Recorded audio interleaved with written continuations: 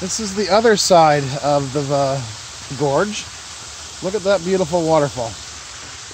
Oh my goodness, is it pretty through here.